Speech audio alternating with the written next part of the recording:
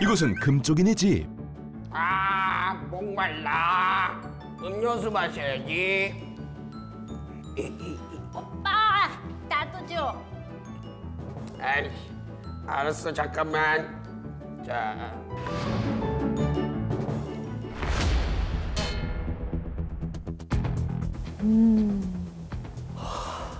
어떡해 아 이게 뭐야?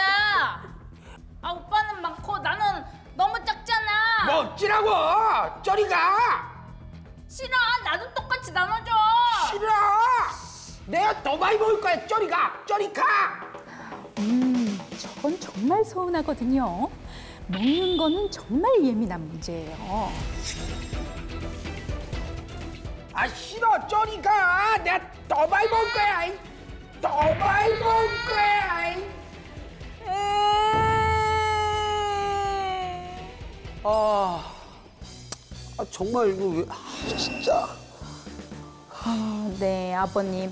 금쪽이의 행동이 조금 심각한데요. 어, 이걸 해결할 수 있는 아주 좋은 방법이 있습니다. 어? 어, 그게 뭡니까? 이렇게 음식을 나누는데 각박한 아이들은 과학적으로 정확히 나누는 법을 배워야 합니다. 아, 과학적으로요. 네. 여기 준비물들이 있는데요. 예. 음료수와 두 개의 컵, 빨대, 그리고 가위가 필요합니다. 자, 먼저 이렇게 빨대가 꺾이는 부분을 기준으로 양쪽에 이제 길이가 같게 아, 각게. 잘라주세요. 네. 빨대를 가위로 잘라 길이를 조절해주고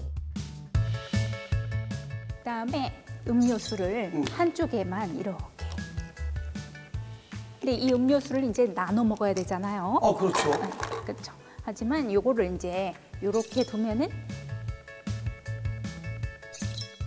오, 놀랍게도 음료가 옮겨지며 양쪽 컵에 같은 양의 음료가 담기게 됐습니다. 오, 어, 정말 똑같이 나눠줬어요. 그렇죠. 어.